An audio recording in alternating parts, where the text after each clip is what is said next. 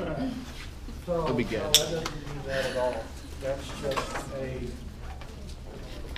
that needs to be corrected in Google, and, uh, so hopefully I'll, Manuela can do that for me, uh, after, after class, although I need to get back to each, uh, some residents here real, really quick, really quickly. Um, So, I believe what the class kind of wants to do is for these neurophysiology example questions, uh, possibly meet on Friday at seven thirty to go through those. For those of you who want to, totally voluntary, totally voluntary. And, um, do take a look at them rather than going one at a time through here.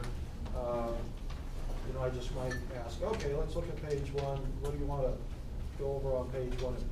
If there's some items you just don't want to go over, that's fine with me. But whichever items you ask, we will go over, and we'll go over though the items that we go over extremely thoroughly, so that those of you who went through the dissection last time, you kind of know that, well, we, we spent um, more than forty-five minutes to go over seven questions. But, the first seven questions, but we went over more than half the concepts on the exam. So, we'll do something like that. And then there will be, uh, not sure when you're gonna get them, but it might be Sunday night, it might be early, early Monday morning, some example cardiovascular system questions. So you can work on those and go through them and, uh, feel a little bit better about life, hopefully. Yeah, Um, when, like, when does the information stop to test two? we need to get to a, I think it's going to be at the, we need to get to a conceptual breakpoint. We're gonna see where we are today. We're gonna see where we are today. My guess is it's gonna be actually sometime on Thursday. But I don't know. I don't know. Okay, so, um, we're still talking about what goes into the heart and what comes out of the heart. And I told you just make sure, that this is kind of the last thing I had up, wasn't it? And although you don't have it in your notes, is this the, This is kind of the last thing. Contractility, there's, I'm gonna add a little bit more to something. But there's two primary ways of regulating stroke volume, how much blood is ejected with each beat. One is by the Starling law of the heart, or the Frank-Starling mechanism, which I'm going to show another slide on that. The other is contractility, and this is contractility.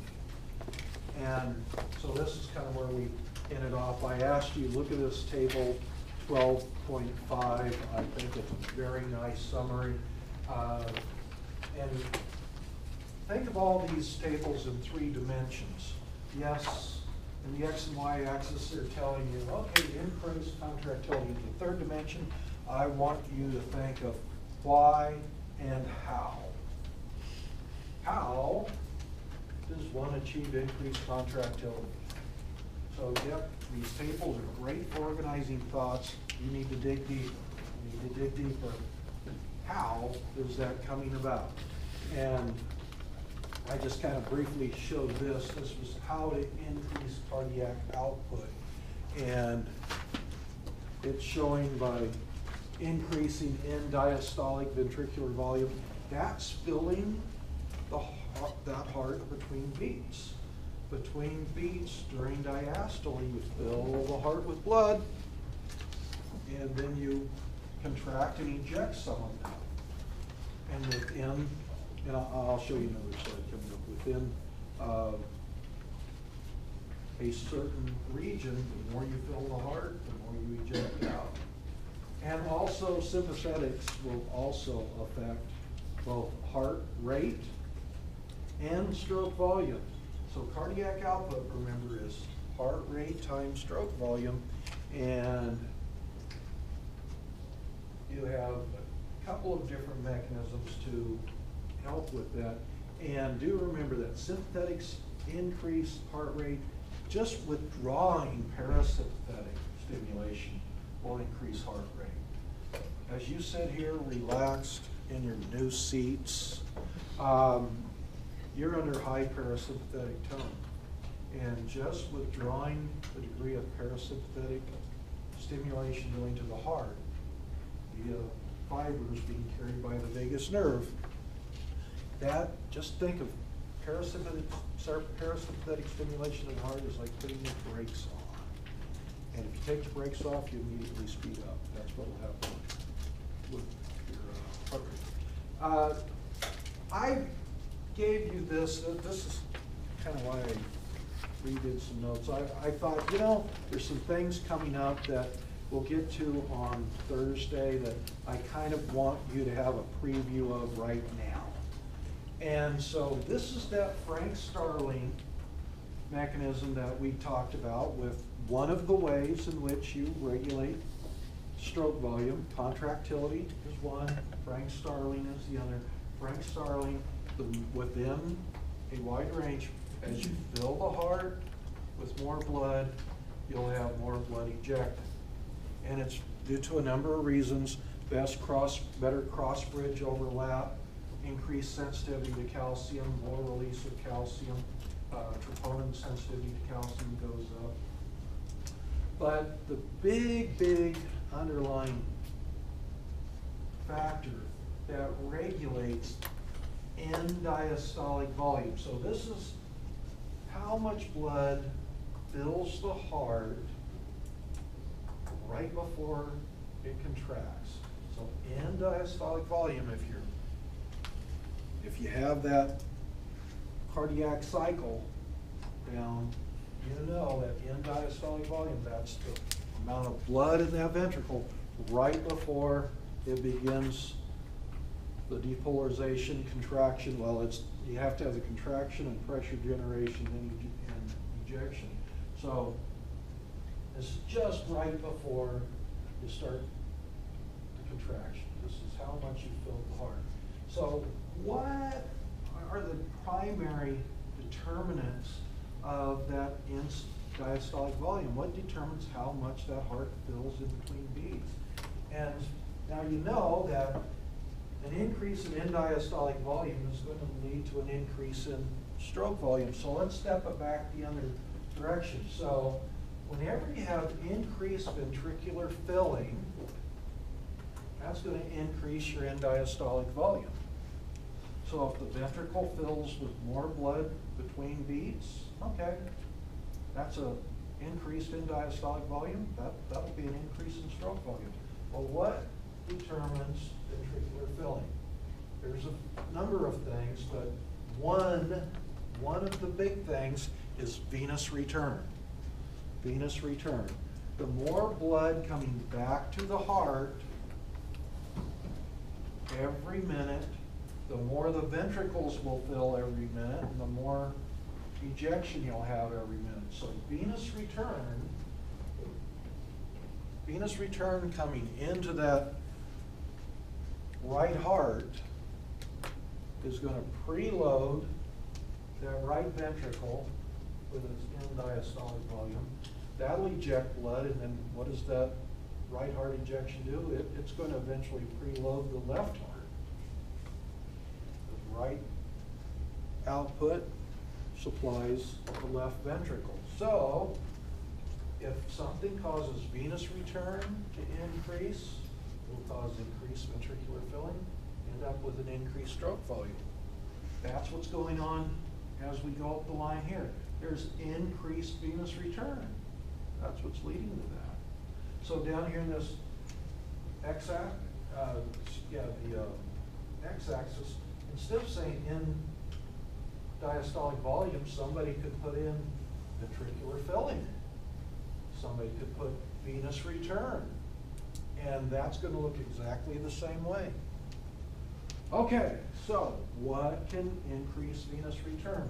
Now, veins don't, and there'll be some slides coming up, veins don't have the capacity to vasoconstrict dramatically, especially the great veins like the inferior vena cava, superior vena cava.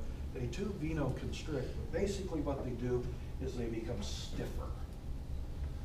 And normally, veins have what's called high compliance. We just very briefly talked about compliance, didn't we? Yeah. Uh, Compliance, yes, um, refers to yielding to pressure. And veins, if you put pressure, blood pressure on them, they just bag out and they fill up with volume. But if they just stiffen up, the great veins stiffen, that's a decrease in venous compliance. What does that do? That drives, there's one-way valves on that venous side. So if that venous vasculature just stiffens up, what does that tend to do? Drive blood toward the heart.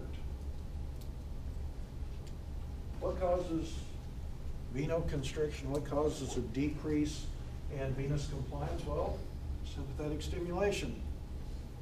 Sympathetic stimulation is going to be a alpha one adrenergic receptor is going to lead to that venoconstriction, and that will help drive blood back to the heart.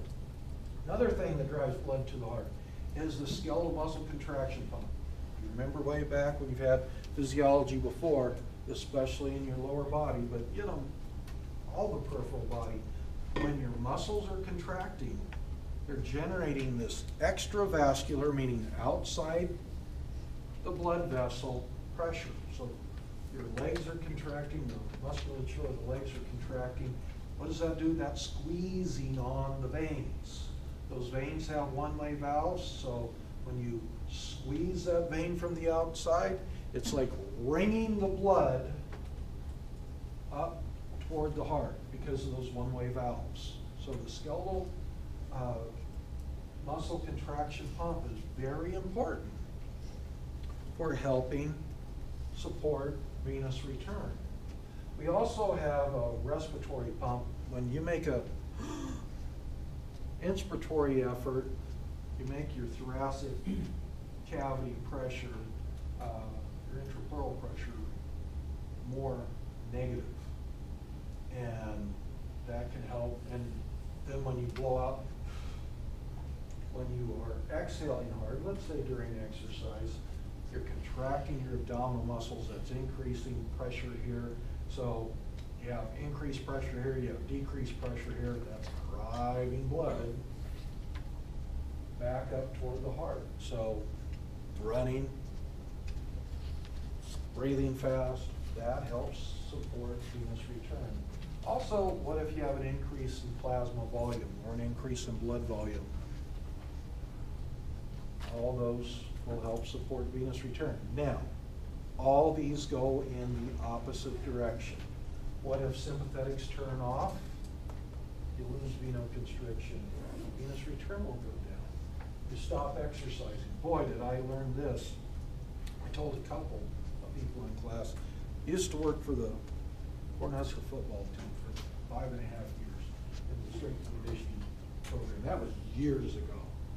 And uh, anyway, we'd have big linemen that we had this incredibly powerful cycle ergometer that we would do certain things with them. And so, you had a three hundred pound guy even way back then, and they could just develop a massive amount of wattage, and they, would- they would only go like six, eight minutes, and then you'd have them stop. And what would they do? They just, unless, well, I learned my lesson very, very quickly. Took an N of two. But these guys are cranking really hard, all this blood flow's going to their legs. You say, okay, end, and they see that light goes off, and they hang their legs. Well, they've lost their skeletal muscle contraction pump, so all that increased blood flow to the legs with nothing squeezing the blood back up toward the heart. And what do they do? Lights out and pass out. And, you know, by the time the second three hundred pound lineman drops on top of you, and as soon as they fall flat, once their head is even with their heart, they become conscious just like that. You go, why are you down there? Why are you on top of me? So you kind of forget, when you're exercising, you know, yeah, you kind of cool out of it. And interestingly, the more fit somebody is, the more susceptible to you are to that rapid loss of consciousness. So these, when activated, it goes in this direction, but when these turn off, or let's say you have a hemorrhage, you have a hemorrhage and you have a dramatic, we're gonna talk a lot about that. You have a dramatic loss in blood volume, guess what? Venous return goes down, ventricular filling goes down, stroke volume goes down, we're gonna see blood pressure goes down. Person might be losing consciousness. Okay, so I just kind of wanted to talk about that. Afterload also impacts stroke volume, how much blood is ejected with each beat. Now, I have some slides on here, and there's gonna be some loud sounds, and unfortunately, I couldn't turn them off uh, for some things coming up.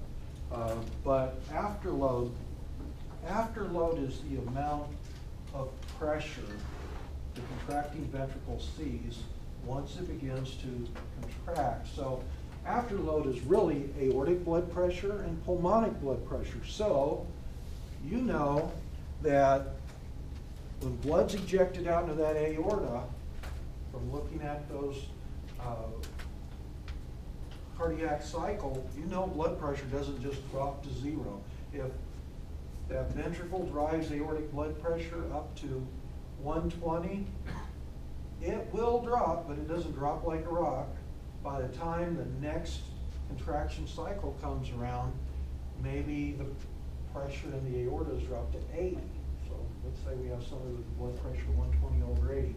That ventricle has to contract and generate enough pressure to overcome 80. That 80, that blood pressure sitting out there in the aorta, if we're talking about the left heart, that's the afterload.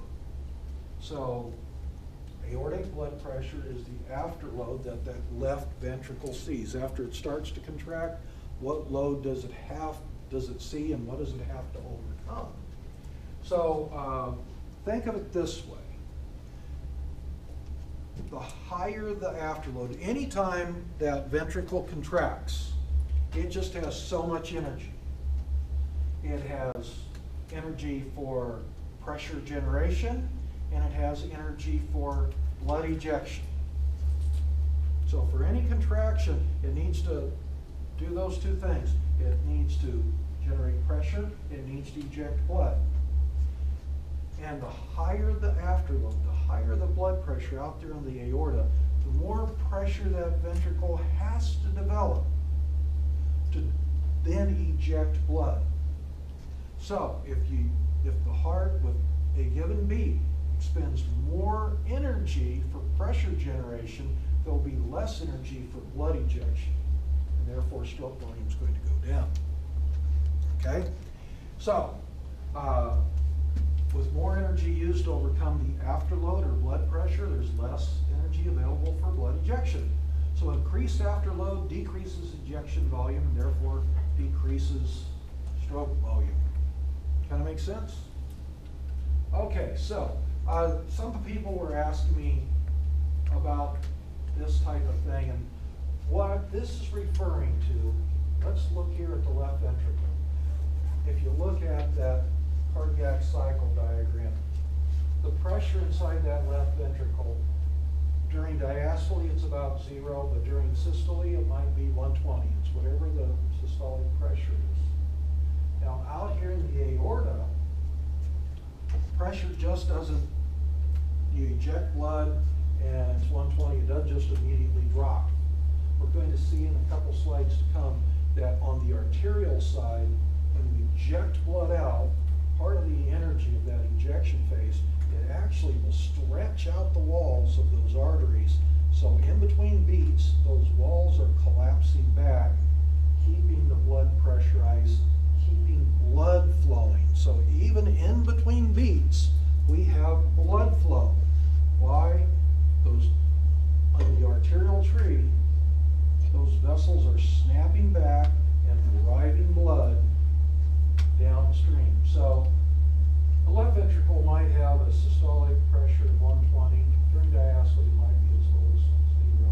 Uh, on the, in the aorta, it might be 120 over 80. Now the right heart, we're talking about a much lower pressure system. So this right ventricle, it might generate at the peak of systole 25 millimeters of mercury pressure. Once again, during diastole, it's almost always close to zero what's out here in the pulmonary trunk, it might be like 25 over 15. So much lower pressures in pulmonary circulation than in systemic circulation. Much, much lower. Uh, pulmonary circulation is a very low resistance, very low resistance circulation. Therefore, it requires much less pressure for Now, if you just kind of look at what if somebody's diastolic pressure is 95, for that ventricle to start ejecting blood, here you only had to get pressure up to 80 and then you can start ejecting blood. Here you have to generate pressure all the way up to 95 before you can pop open that aortic valve and you get ejection spending more energy right here for pressure generation. Therefore, there'll be less energy available for blood ejection. Stroke volume is going to go down. Kind of makes sense? Hopefully. Now this is where it's going to get noisy. Oh, okay. So imagine, if you will, that here's the uh, aorta, and yes, there is a back pressure coming against the aortic valve. So every time that left ventricle contracts, it's like it has to push a door open to get the blood to eject. So, ugh, I'm sorry for what's about to happen. So during that ejection, it has to drive open that door. That takes some energy. It takes some energy. So, because there's back pressure, there's back pressure on that door. There's a little bit of wind on the other side. It's aortic pressure, right? So, but if the amount of back pressure on that aortic, valve is higher, higher, higher, which occurs during uh, high blood pressure or hypertension, guess what? That ventricle has to do more and more pressure generation just so it can eject blood. So, sorry, I was gonna try to turn it off before class. So, you have this pressure generation and then ejection. So with hypertension, there's an abnormally high afterload. That greatly increases myocardial work and oxygen demand, and therefore, it decreases stroke volume. So oftentimes, people with hypertension, guess what? They just have a, they have a higher heart rate because their stroke volumes are going down, they still need to maintain their cardiac output, so they're beating faster, their heart's working harder. And we're gonna, you're gonna have a lot of slides on this to come. I just wanted to put this in perspective. Now, with severe hypertension, I, when I teach continuing education to practitioners, I say, this is like trying to pump blood against a brick wall. It's just like whack, whack. There's a tremendous amount of hindrance to blood ejection. You have to generate huge pressures to be able to pop open that aortic valve because there's so much back pressure. So much back pressure. So does that change the amount of work that your mind, your heart has to do? Absolutely. I hate this term, but you're going to find out, I'll give you a little preview, what determines myocardial work? How much work the heart has to do to eject blood? It's C R A P, crap. Contractility, increased contractility takes more energy, more oxygen. Increased heart rate takes more energy, it requires more oxygen, therefore more blood flow. Increased afterload, this is a big increased afterload, the heart has to do more work. Increased preload, filling the heart with more blood between beats, that takes more work. So, as you go through your day and you go from sitting to walking to, you know, maybe jogging, uh, taking off to doing increased physical activity, your heart is doing more work. And your blood vessels can accommodate that increased myocardial work and increase coronary artery blood flow to meet the metabolic demands for that increased work. But somebody with coronary artery disease and their coronary blood flow is compromised, as my, these determinants of myocardial work go up, they may become limited in their uh, ability to do physical activity because it's very easy in those people to, too much crap, can't do any more work, basically.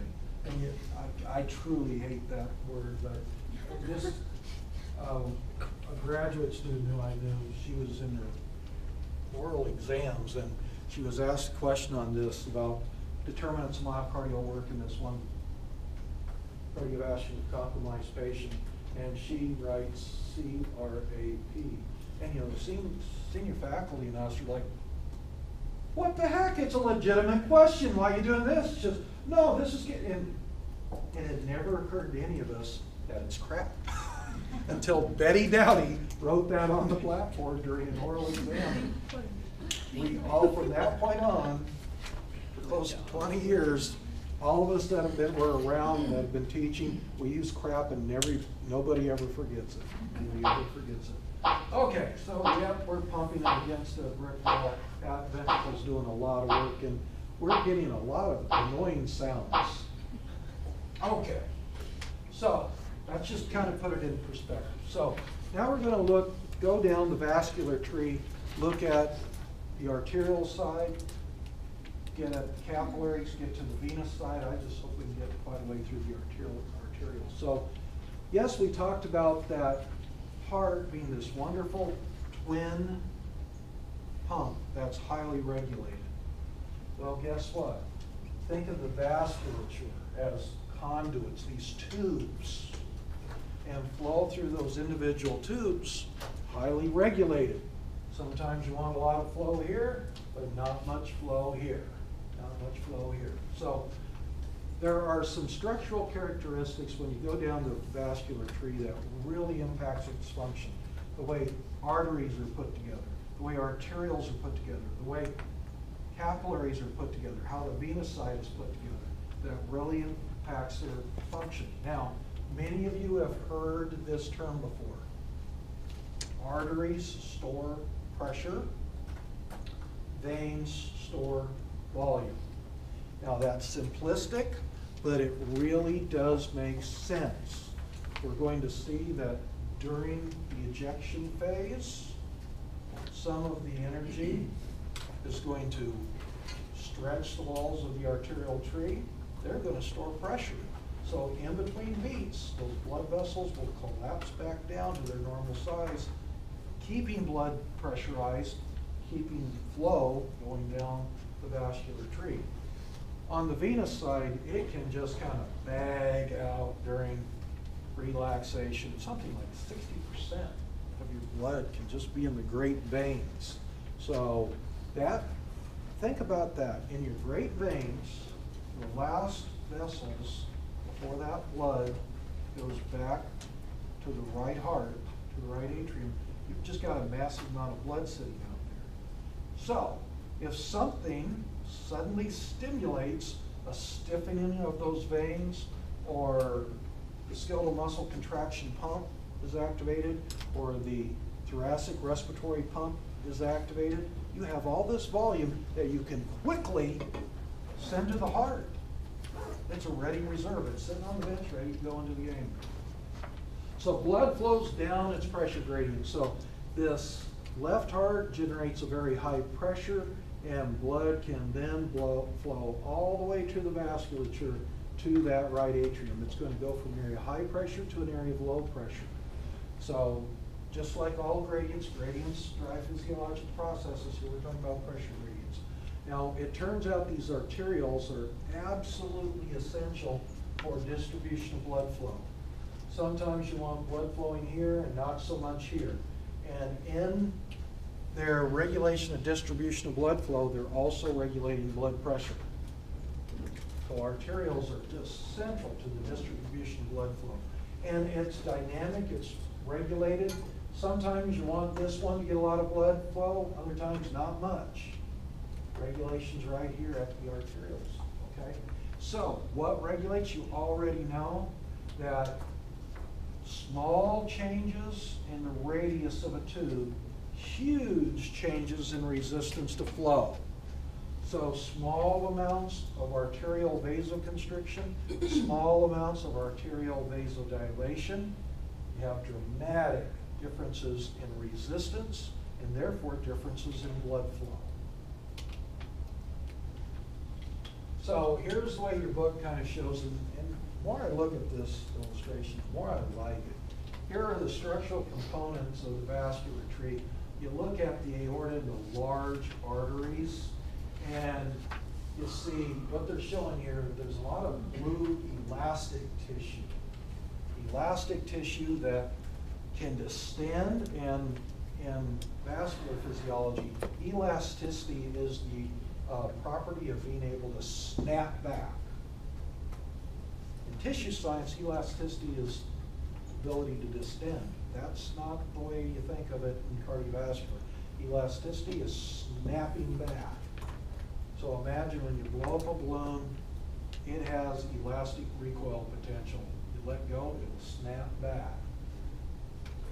So, and, so that's what these blue are. There's several layers of elastic, stretchable tissue. And you can stretch it during periods of high pressure, and then, uh, in between beats, that will snap back, pressurizing blood, keeping it flowing down the vascular tree. You can come down to arterioles. And what do these guys have? You know, yeah, there's not nearly as much elastic tissue in this wall, but what they have is smooth muscle. Smooth muscle that is, can be regulated in a number of ways, leading to vasoconstriction and vasodilation. Come down here to capillaries. Capillaries are just these thin, they're just one layer of endothelial cells. And if you look, there's endothelium here, there's endothelium here, there's endothelium here, there's endothelium here. So all the blood vessels have this single layer of endothelium. It's just capillaries, that's all they are. That's all they are, is endothelial cells. So endothelial cells make up the endothelium. And then we'll talk about the veins a little bit later on. So you can store pressure because of the elasticity on the arterial side. You can regulate distribution of blood flow at the arterioles because of the smooth muscle. It has the ability to either vasoconstrict or vasodilate on demand. And we have one-way valves on the venous side. And because these are, this is so distensible, things like skeletal muscle contraction or ventilatory pressures can help drive the blood back to the heart on the. And we can store a whole lot of blood there. Store a whole lot of blood, so if you suddenly increase physical activity or increase in anxiety, all you have to do is stiffen that up a little bit because of one-way valves, you're sending more blood to the heart to prepare for that challenge. Okay, so, uh, this gets to, uh, I guess I hadn't really talked about, I'll probably talk very briefly. Compliance. We're, you're, we're gonna hear about this term compliance several times throughout the balance of the semester. Compliance refers to yielding to pressure. And the, I'll tell you the example that I give in dental students. The dental students, you'll have, they'll have patients that come in who, some, they come in, they have kind of poor oral hygiene. They're not brushing and flossing very well, they have poor plaque, plaque score is high. So, one patient, you might say, you know, you need to do a little bit more between visits, uh, before cleaning, so I, I want you to, you know, pay more attention, do more brushing, more flossing. So you're putting some pressure on a patient. You're gonna be putting pressure on patients all the time. Your heart disease, your hypertension patients, your uh, diabetic patients, to try to modify lifestyle behaviors. You're gonna do it in a very gentle and supportive way, but you will be putting pressure on your patients. So those dental students are putting pressure on the patients to increase their oral hygiene. So a low compliance patient, very little effect. So with a low compliance pressure, you give X amount of pressure on them and very little impact. They come back in, no change whatsoever. A highly compliant patient, somebody who yields to pressure very readily, they come back in and they have these red swollen gums. I'm up to brushing an hour and a half a day and I, I'm now flossing five times a day and they're just destroying their periodontium. Very little pressure and you had this huge change in behavior. So that's kind of what goes on here. Here it's a change in volume for given change in pressure. Some blood vessels, such as these great veins, you pressurize the blood a little bit and they distend out. A little bit of a change in pressure and a huge change in volume. That's low compliance, or excuse me, high compliance. Something has high compliance, a small change in pressure, a large change in volume. On the arterial side, we have exactly the opposite thing. We have a low compliance system. High changes in pressure, low changes in volume. And once we put these things into action, then they'll make a lot more sense. They'll make a lot more sense. So keep, and look in your book about how they they describe compliance. Okay, so we're gonna get into compliance right here. So here's the way the book shows the aorta. And so during the systolic phase of that ventricle, during ventricular systole, you have pressure generation and then you have ejection. You can see the aortic valve is now open. So during the ejection phase, yep, some blood is flowing from left to right and down the vascular tree, but some because of, we have a pressure gradient. Lower pressure, higher pressure. So blood's gonna flow from your high pressure to low pressure. But, just like when you blow on a balloon, when you jam X amount of blood into this blood vessel, part of that blood is going to actually distend the walls of that blood vessel. Remember, there's elastic layers in there. There's elastic layers. So, even during diastole, this is great the way it's built. Because if this was a purely rigid tube, if this was a purely rigid tube and it didn't distend out, what would happen is you'd have blood flow during systole and then during diastole, nothing. Blood flow would stop. But what happens is when you eject blood out during systole, during diastole, when that aortic valve is closed, those vascular walls, those arterial vascular walls, they start snapping back down to their original size. What does that do? That maintains blood pressure. That maintains blood flow. So right here, pressure went all the way up to one twenty. And then during diastole, as this is snapping back, it goes from one twenty, the pressure in here goes from one twenty to one ten to one hundred, uh, to ninety to eighty, and right when it gets to eighty, we have another systolic phase. So we reset it back to one twenty. But because of these distensible, elastic arteries, we store pressure. So arteries store pressure. And this is kind of what this is talking about here. So if you look at the blood pressure tracing, this would be for systemic circulation, this is for pulmonary circulation. And this is what's going on uh, in the arteries. Here's when we get to the arterioles, but we can see that during systole, blood pressure goes way up. During diastole, it's falling, falling, falling, falling, falling.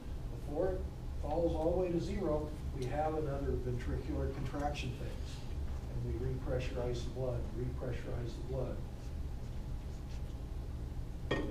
So what you're seeing here are pulse pressures and, much less pressure generation on the pulmonary side. But it doesn't just automatically drop to zero. It drops over a period of time because the elastic recoil, that's really what those vessels have. They have elastic recoil potential, snapping back, keeping the pressures high, higher than what they would be without. So, uh, I now have a new appreciation, thanks to Aaron, for the dicrotic notch. I will never dismiss it again. Uh, She will fill you in on why it's important. So let's look at some, some terms here. So systolic pressure, systolic pressure is the aortic blood pressure, the highest blood pressure developed in the arterial tree during the systolic phase. So maximum arterial pressure occurring during ventricular systole. Max systolic pressure. Diastolic pressure is the minimum blood pressure that occurs during a cardiac cycle. So that's occurring during ventricular diastole, and before it has a chance to drop even farther, hey, we reactivate the heart, we're gonna go through another depolarization, contraction, pressure generation, ejection phase again. So, pulse pressure is something you need to know, and all that is, is systolic pressure minus diastolic pressure. So here are pulse pressures. And Aaron would know a lot about this, but arterial sclerosis, the hardening of the arteries, uh, used to be called that, but uh, with peripheral artery disease, you'll see changes. Changes, these vessels, these arteries become less elastic, and it changes uh, pulse pressures quite a bit. Pulse pressure is diagnosed, a, one of the diagnostic indicators of arterial sclerosis. And look at what happens to the vascular tree with age, and down here is somebody 40, 60, 80. What happens as somebody ages and the blood vessels on the arterial side become less and less elastic, there's higher systolic pressure because of that loss of elasticity, and they have lower diastolic pressures. So they don't stretch as much, they don't recoil as much, and therefore you have these huge, well, these increasing, increasing pulse pressures. Mean arterial blood pressure might not change a whole lot, but pulse pressure does. And that's, well, you definitely see that. Many of you have uh, older relatives and something ever happens and you're, they're on a continuous monitor, is there. And that's because of some peripheral artery disease. Okay, so mean arterial blood pressure, mean arterial blood pressure. This is the average blood pressure on the arterial side over the course of a cardiac cycle. So, uh, your book goes MAP, and actually, I use, for most of the things I'll be showing you, I go MABP. So MAP and MABP are the same thing in my notes. Actually, for many of the slides coming up, I'll have MABP. I wish I'd remembered that. Uh, So mean arterial, mean arterial blood pressure is the average blood pressure over a cardiac cycle. Now, diastole takes twice as long as systole, typically. So here's one way of calculating mean arterial blood pressure. There's two primary ways, but here's one way. Diastolic pressure plus one-third pulse pressure. So if somebody has a blood pressure of one twenty over eighty, so eighty would be the diastolic pressure. Their pulse pressure is one twenty minus eighty, so forty, so one-third of forty is about thirteen. So their mean arterial blood pressure would be like ninety-three point three millimeters of mercury pressure. And that, it's that mean arterial blood pressure that is the average driving force for blood flow through the vascular system. So, as I mentioned, these tubes downstream here, we're gonna leave the arteries and go to the arterioles. These arterioles, they're kind of a gatekeeper on how much blood individual tissues, individual organs get. And how do they primarily regulate how much blood that these individual tissues and organs get? By regulating the resistance to blood flow at those points. And you already know that most of that is regulated by the radius of the blood vessel. So arterioles, they really are central for the distribution of blood flow to specific organs and tissues. The ones that need it the most get the most, the ones that need it the least get the least in a normal, healthy person. And it's the, remember, the radius of the tube, resistance is one over radius to the fourth power.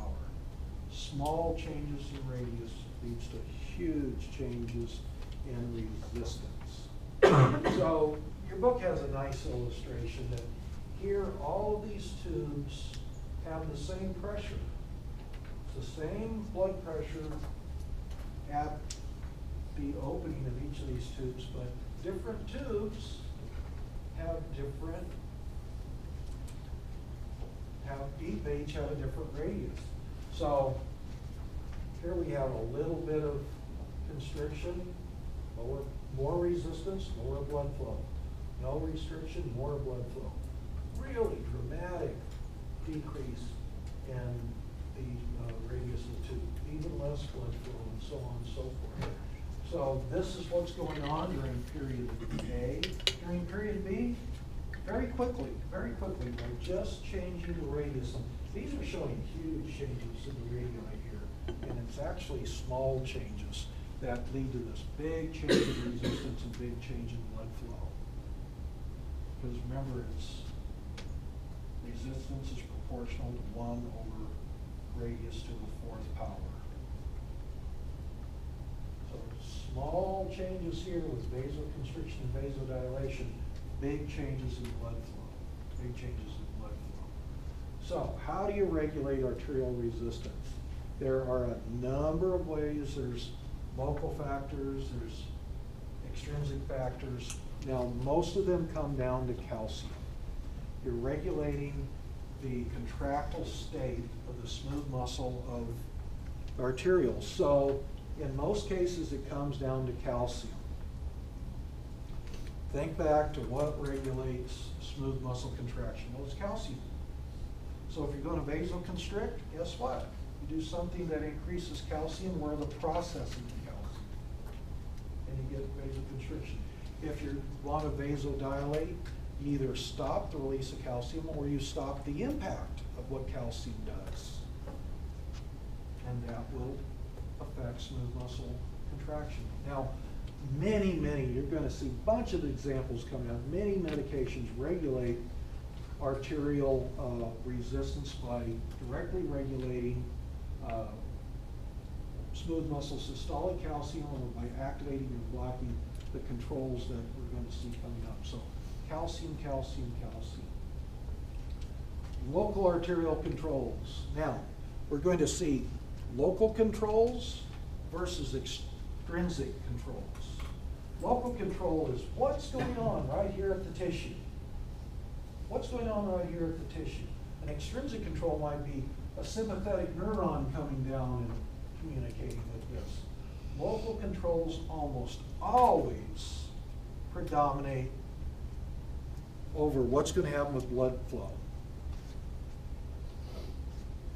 So local control is almost always, by far, the greatest determinant of if that organ or tissue has low resistance to high blood flow or vice versa. Now, what kind of local controls are there, are there that I talked about? One thing are local, locally produced metabolites. The more metabolically active this tissue is right here, the more metabolites it's going to be producing, and also the lower the oxygen is. So let's say this is a very, very metabolically active tissue. Something's going on. Let's say digestion's going on. Well, oxygen's going to be consumed, so oxygen's going to go down. Guess what? That vasodilates. CO2 is going to be produced because that's producing a lot of work. Hey, that causes vasodilation. There's all sorts of local metabolites, and they are different for different tissues. Some tissues, these metabolites will cause vasodilations. In other tissues, it's other metabolites that are produced when that tissue's getting busy. But in many cases, uh, in almost all cases, the generation of metabolites cause vasodilation. So, the more metabolically active tissue, uh, it requires more blood flow. So arterial smooth muscle, it's highly sensitive to metabolites. So locally produced metabolites actually cause vasodilation. So the tissue that is most active is producing more metabolites. That leads to more vasodilation. That leads to more blood flow. What a beautiful system. The more you need, the more you're going to get. That's the vast majority in a normal, healthy person, how blood flow is distributed to the organs that need it. There's also a myogenic response that, and, and this isn't in all arterioles, but if blood pressure is high, that might distend some of these arterial walls, and some of them then have a reflex vasoconstriction. So, both of these are built into the arterial. They, it happens locally. So if a tissue is very, very active in producing a lot of metabolites, well, it vasodilates and allows more blood to get there. But what if blood pressure goes up, it stretches out the arterial, and the arterial goes, eh, we don't want more blood flow to this area. You get a myogenic response, which is a reflex muscle contraction. So what does that do? That keeps blood pressure, or excuse me, it keeps blood flow in a normal range. I'll show you an example of this. And it goes the, and both of these go in the other direction. If you have a metabolically inactive tissue, you're not producing vasodilating metabolites, you're gonna get some vasoconstriction. If blood pressure goes down, almost all arterial smooth muscle has a basal tone. So you can vasoconstrict a little bit, or you can vasodilate a little bit. Kind of in the middle. Kind of in the middle, so if blood pressure goes down, well, guess what?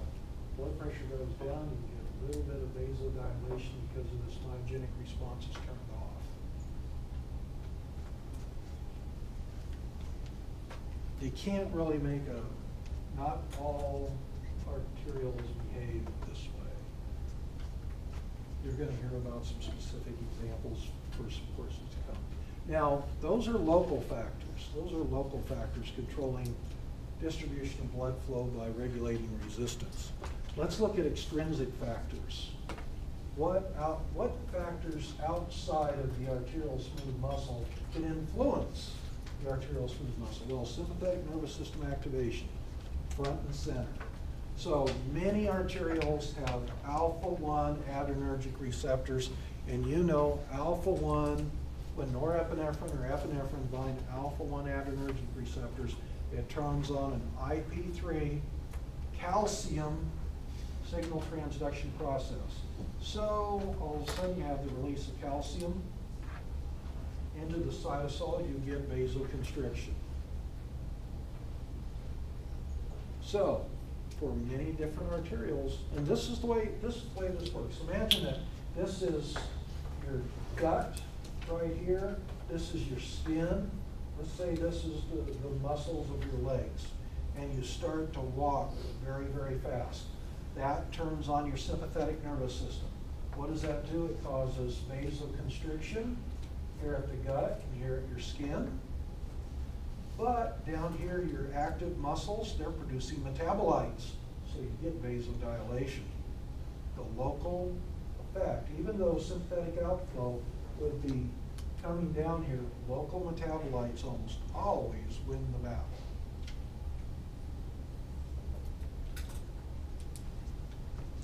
Okay, now there is uh, an exception to this A, is, for example, in skeletal muscle, some skeletal muscle beds, they have beta-2 adrenergic receptors, so when there's a little bit of epinephrine in the system, epinephrine is far better at binding beta-2 adrenergic receptors than norepinephrine. So if your adrenal medulla is releasing some epinephrine, and those skeletal muscles that have some of these beta-2 adrenergic receptors, that actually causes vasodilation. So you increase blood flow to those active skeletal muscles. So that's, that is an important exception. Now, there's also hormonal control that they, can actually, uh, your textbook puts this under hormonal control. I'm not gonna split hairs, but this to me is part of the sympathetic nervous system. So, you're gonna see more about this later on, but there are some important hormones that very much regulate vascular tone. Angiotensin two is a powerful, powerful vasoconstrictor. And you're going to see that there's some things that can happen in the kidney that can turn on a process that leads to production of angiotensin two. And it's a powerful vasoconstrictor. And it's released, for example, when you have a hemorrhage to help maintain blood pressure. Vasopressin, the other name for vasopressin is antidiuretic hormone. They're the same molecule. It's also a vasoconstrictor. Also a vasoconstrictor. Both of these, when they bind their own receptors, activate IP3 calcium signal transduction pathways. Now, atrial natriuretic peptide. This is actually released from the atria of the heart. This is a vasodilator. And we'll see when we get to the renal system, how, and also the endocrine system, how these all work together. But these are hormones that have a big impact on vascular control throughout the body. And then there are other factors, and the only other factor that I'm gonna mention is there are some neurons, there are some neurons that directly release nitric oxide. Nitric oxide is a smooth muscle relaxant. Many of the vasodilating metabolites, they actually function by causing nitric oxide to be produced in that arterial smooth muscle. Nitric oxide is a vasodilator. And there are some neurons that will release nitric oxide into smooth muscle beds. So I do want you to generally know nitric oxide is a vasodilator.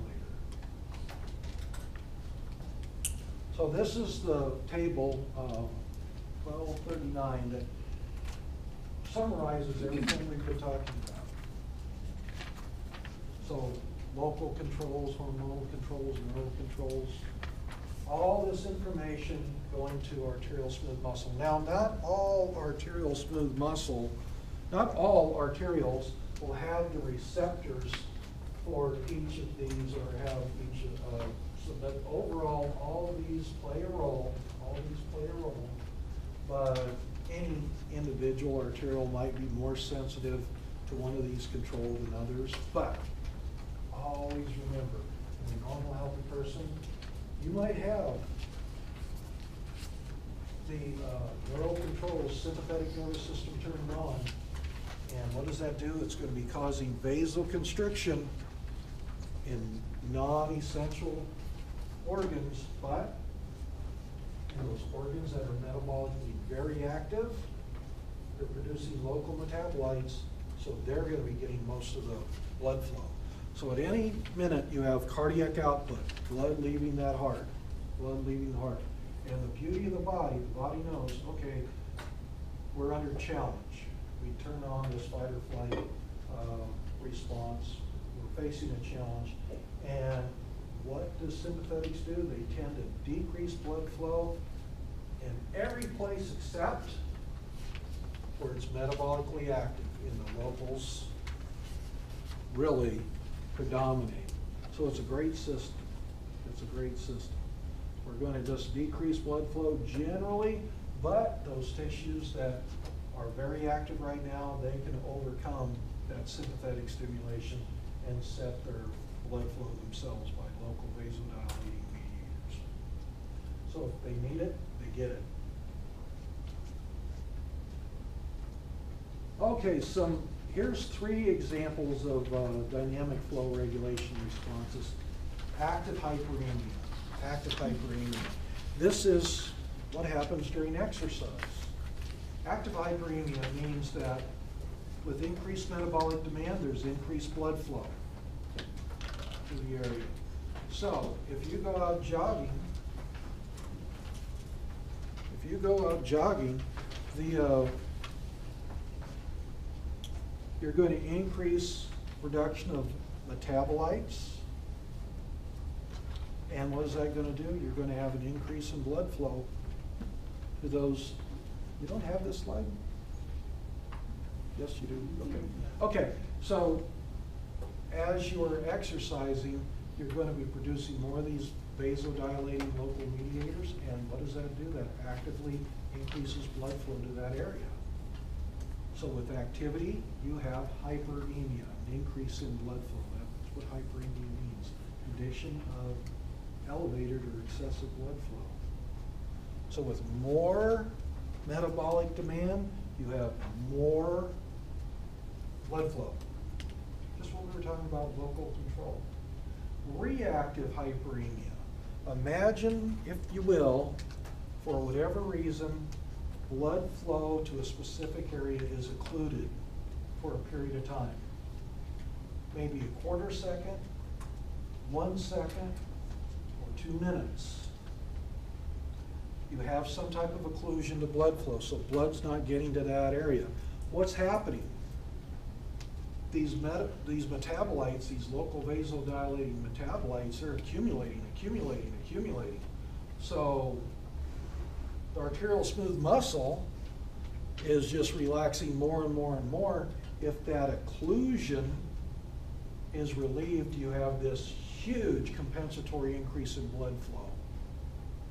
This actually is what happens during the cardiac cycle when the heart beats, when that left ventricle contracts, it generates so much pressure, it actually squeezes shut the arteries during the systolic phase. So for a, a tenth of a second, those ventricular myocytes are producing these uh, metabolites. So during diastole, those vessels open even more. And you get a reactive hyperemia. Several tissues undergo what's called flow autoregulation. Some tissues, like your kidneys and your brain, they just want X amount of blood flow every minute. I don't care if blood pressure goes up or blood pressure goes down, I want to just get my blood flow. And it looks something like this. And typically, the set point's right here in the middle. So, let's say these are, your, this is your kidneys.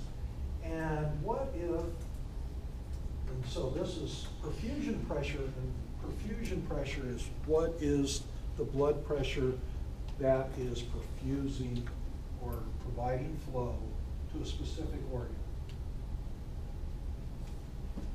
And let's say the starting point, the starting points are almost always dead set in the middle. What happens if somebody's blood pressure goes down a little bit? Well, perfusion pressure goes down, uh, flow stays the same. Why? As pressure goes down, resistance goes down.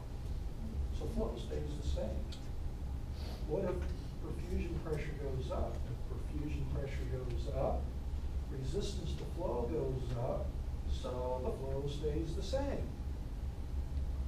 Now, when you get to the ends, yeah, you can overcome this autoregulatory zone, but there are specific organs that work very hard no matter what, what's going on with blood pressure, within a fairly wide range, it keeps blood flow per minute very much the same. That's called autoregulation. That's just a term you need to know. And so this organ is regulating blood flow by regulating resistance to keep it in that normal range. So here's some, I, this is a preview that I was hoping to get to, and you have it for some things that are to come uh, next time. So yeah, we've already talked about mean arterial blood pressure. I want to, and earlier on, we talked about this. Flow is equal to the change in pressure divided by resistance. So the greater the change in pressure, the greater the change in flow. If resistance goes up, flows goes down? Let's kind of play with this equation a little bit.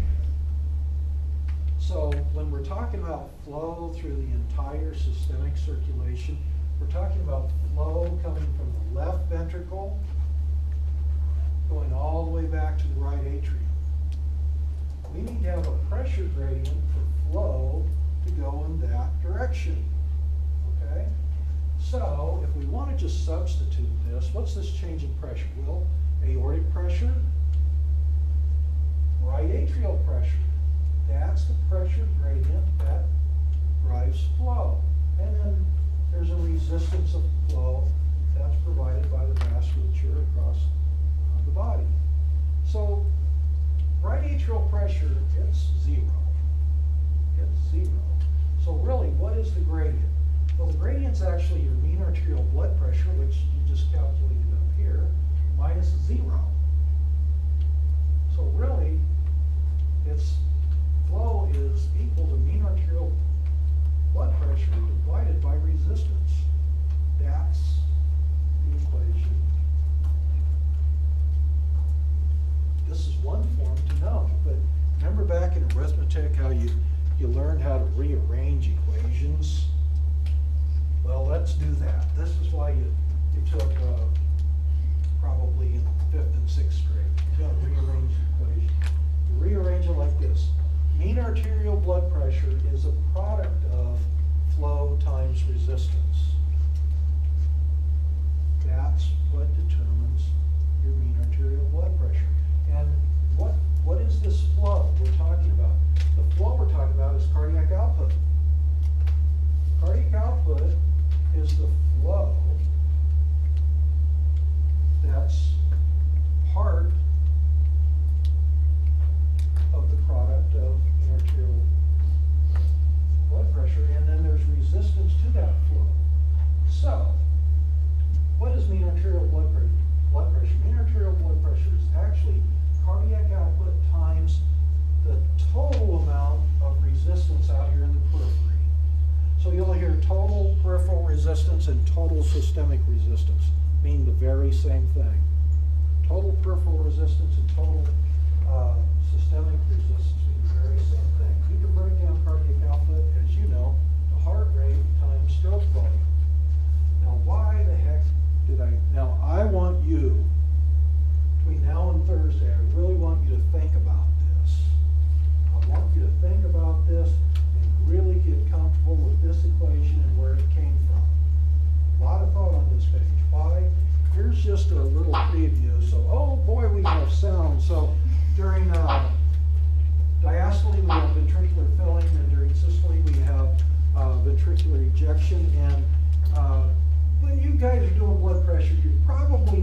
straight to the aorta to do it, but you know, this is during the ejection phase, you're setting the systolic pressure, and then it drops, drops, drops, and it's minimum that it reaches before the next systolic phase, that's diastolic pressure, okay? So you know that, you know that. So what I'm getting to here is here are all the different classes of antihypertensive medications.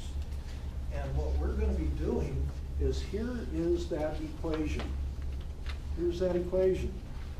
And this is just one of those sit back and look at things. So if you're really comfortable with that equation and where it came from, this is gonna make a lot of sense to you. I wish I would have given you, I didn't give you that slide, did I? Bad on me. But what regulates heart rate? Well, the sympathetic nervous system. What regulates stroke volume? Contractility and preload. Okay, we've already talked about that. What regulates total peripheral resistance? Well, we talked about it obliquely. Arterial vasoconstriction. Arterial vasoconstriction.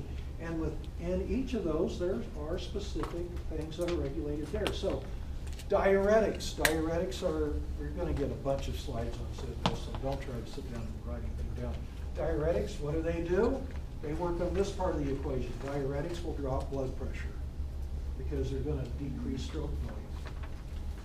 What do beta blockers do? Beta blockers have a lot of effects. Beta blockers are going to decrease heart rate. Beta blockers are going to decrease contractility. Beta blockers are going to decrease the release of something called renin. And renin kicks off a cascade that leads to the production of angiotensin II, which is a powerful vasoconstrictor. So, beta blockers Beta blockers will block in a whole number of ways. ACE inhibitors. ACE inhibitors will block this part, will block this part. Here's ACE, an ACE inhibitor drug, blocks right there. So it stops vasoconstriction and it decreases sodium and water retention. Angiotensin II receptor blockers, well, they're very specific what they do, they're called ARBs. They function here. Aldosterone receptor blockers. function here. So the point is, if you really, really, really feel this equation, management of blood pressure just makes a lot of sense. You know that calcium, calcium plays a central role in the tone of arterial smooth muscle. So, not a surprise, there are calcium channel blockers, they're not used for everything, but calcium channel blockers, they will decrease contractility of the heart, they will decrease ventricular compl- uh, venous compliance, they will decrease arterial vasoconstriction. All those things drop blood pressure. Alpha blockers, well, they're just going to impact here and here. And it goes on and on and on. So this, if you have time, I hope you write this down. I hope you write this down, because uh, this is where I want to get to, guys. This is something that you just start thinking about right now. Here are the elements of controlling mean arterial blood pressure, and within each of these elements, there's different controls for that.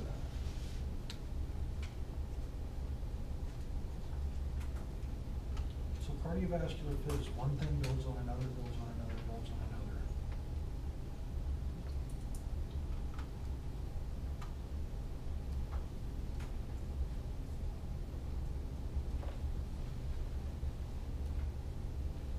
Better get the crap off the board or what's going on in there.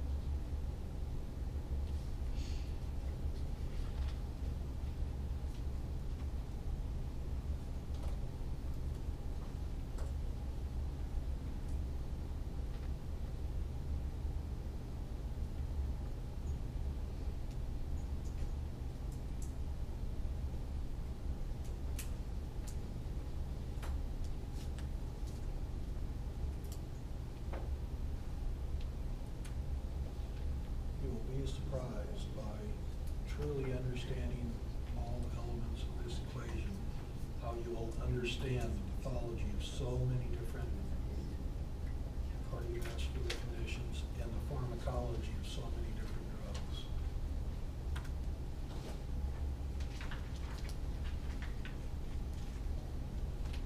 Now, how many of you How many of you in your undergraduate physiology course really got to that level? I was hoping for a third. Okay, okay, you know, at least four or five, at least four or five, yeah. yeah. Okay, that's, that's good, that's good. yeah. That doesn't mean you had a bad physiology course, it's just that the focus is different, that's all. You didn't have a bad